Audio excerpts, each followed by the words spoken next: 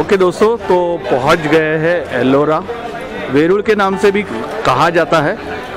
महाराष्ट्र के औरंगाबाद डिस्ट्रिक्ट में यह प्लेस आती है और यहाँ पे बहुत सारे केव्स जो है, वो हमें देखने मिलते हैं। जस्ट अपने सामने मैं आपको दिखाना चाहूँगा, ये है यहाँ का एंट्री गेट और यहाँ पे जो है, वो केव्स है। तो दोस्तों, पहुँच गए हैं वेरुल के टिकट काउंटर पे। यहाँ पे आपको मैं बताना चाहूँगा कि ओनली कैश पेमेंट लिया जाता है। इंडियन सिटीजन्स के लिए फोर्टी रुपीज़ और फॉरेनर्स के लिए सिक्स हंड्रेड रुपीज़ यहाँ पे चार्ज है। पंद्रह वर्ष से छोटे बच्चों के लिए यहाँ पे आधार कार्ड दिखाना अनिवार्य है। सबसे अहम चीज़ इस जगह के बारे में बताना चाहूँगा कि ये जो मॉन्यूमेंट है, वो भारतीय पुरातत्व विभाग के अंडर में आता है और इसी वजह से यहाँ पे फोटोग्राफी अलाउड नहीं है।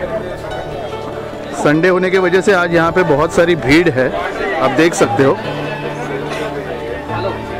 तो चलिए दोस्तों, देखते हैं एलोरा केव्स दोस्तों, हम लोगों ने एंट्री टिकट ली ली है। एंट्री टिकट यानी यहाँ पे टोकन मिलता है।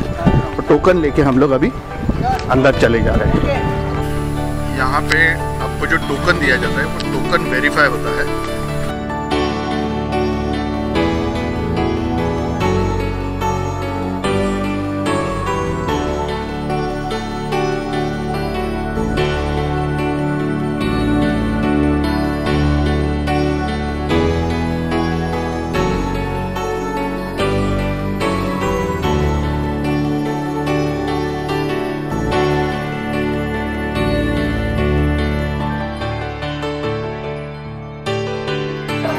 वेरुल की पहली केव विज़िट करने के लिए हम लोग पहुँच चुके हैं। और आप देख सकते हैं, ये है मेन एंट्रेंस बहुत ही अच्छी नक्काशी यहाँ पे आपको देखने मिलती है।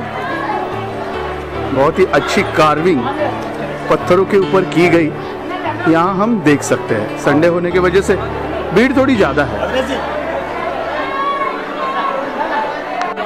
यहाँ पे जैसे ही हम लोग लेनी के परिसर में एंट्री करते हैं तो हमें 16 नंबर की जो गुफा है, वो यहाँ पे दिखाई देती है। भव्य प्रांगण में यह गुफा विराजमान है। इन गुफाओं के निर्माण के बारे में बात करें तो तकरीबन छठी से बारहवीं सदी के बीच राष्ट्रकूट वंशजों द्वारा इन गुफाओं का निर्माण किया गया था।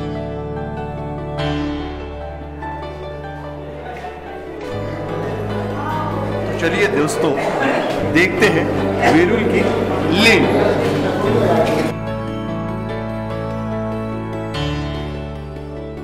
कैलाश मंदिर के नाम से भी इस लेनी को संबोधा जाता है। गौतम बुद्ध जी के युग से यह लेनी यहाँ पे है, इसी, इसीलिए इसे बौद्ध लेनी भी कहा जाता है। तो चलिए दोस्तों, देखते हैं वेरुल की फ़ेमस लेनी दोस्तों, अगर आप मुंबई या पुणे से आ रहे हैं तो औरंगाबाद यह शहर, यह जिला, रोड और रेल मार्ग से जोड़ा गया है। मुंबई से तकरीबन 340 किलोमीटर और पूना से 230 किलोमीटर दूरी पर औरंगाबाद स्थित है। औरंगाबाद रेलवे स्टेशन से तकरीबन 30 किलोमीटर दूरी पर वेरुल गाँव है और वेरुल गाँव में ही यह फ़ेमस लेनी हम देख सकते हैं। दोस्तों, रेलवे स्टेशन से वेरुल आने के लिए पब्लिक और प्राइवेट दोनों ट्रांसपोर्ट यहाँ पे अवेलेबल है। साल 1983 में यूनेस्को ने इन लेनियों को वर्ल्ड हेरिटेज का दर्जा दिया। और दोस्तों, इसी वजह से हर साल लाखों विदेशी पर्यटक यहाँ विज़िट करते हमें दिखाई देते हैं। और ये दोस्तों देखते हैं भारत के प्राचीन मूर्तिकला का भंडार, कैलाश मंदिर। दोस्तों, कुछ ऐसी चीज़ें हैं जो वेरुल केव्स को बाकी केव्स से अलग दिखाती है। अब जिस मंदिर में हम जा रहे हैं, वह है कैलाश मंदिर।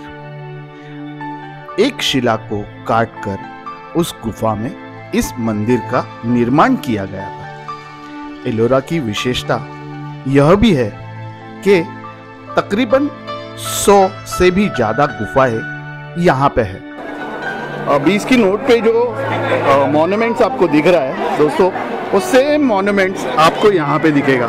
जस्ट मैं आपके नॉलेज के लिए ये फ़ोटो और ये बीस रुपए की नोट यहाँ पे मैच करके दिखाता हूँ।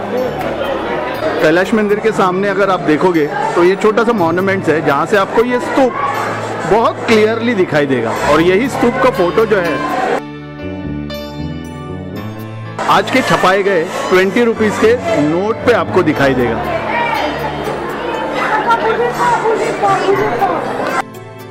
एलोरा में तकरीबन 100 गुफाएँ हैं, मगर उनमें से सिर्फ़ 34 गुफाएँ ऐसी है जहाँ पे लोगों को विज़िट करने की अनुमति दी जाती है। एलोरा केव्स इसलिए भी ज़्यादा मायने रखती है कि इन केव्स में सिर्फ़ बौद्ध ही नहीं तो हिंदू और जैन धर्मों के बहुत सारे मंदिर हमें दिखाई देते हैं।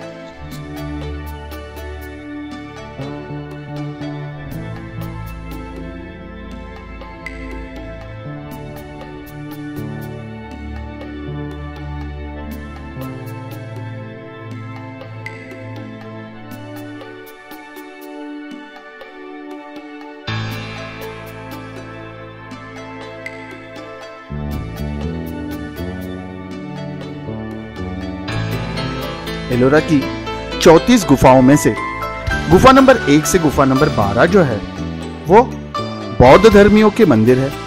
13 से 29 कुल 17 गुफाएँ हिंदुओं के मंदिर है और 30 से 34 जो है, वो जैन मंदिर है। मुख्य मंदिर के प्रवेश द्वार से बाहर निकल के लेफ़्ट हैंड साइड में एक छोटा सा रास्ता है, जिससे हम लोग मंदिर की पिछली तरफ़ आते हैं और पिछली तरफ़ हमें कुछ मंदिरें यहाँ पे दिखाई देती है। मंदिरों के शिल्प अभी भी बहुत अच्छे कंडीशन में है।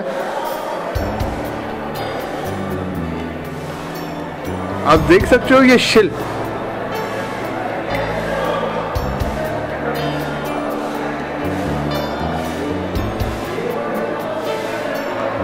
इतने प्राचीन होने के बावजूद भी इनकी नक्काशी और रंग अभी भी इंटैक्ट है।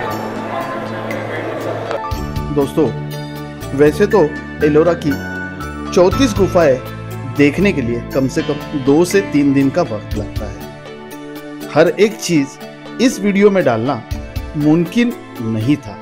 इसीलिए दोस्तों एक रिक्वेस्ट करूँगा कि अगर आप औरंगाबाद में आते हैं तो इस जगह को ज़रूर भेंट दें। दोस्तों यहाँ पे एलोरा की विज़िट हमारी कंप्लीट हो रही है। दोस्तों, इस वीडियो बनाने में हमें कम से कम दो से चार से आठ से दस दस दिन भी लगते हैं। अगर ये आपको वीडियो अच्छा लगा तो लाइक और कमेंट ज़रूर कीजिए। अगर आप मेरे चैनल पर नए हो तो सब्सक्राइब ज़रूर कीजिए। बने रहिए मेरे एनी राइडर अविनाश के साथ। जय हिंद, जय भारत।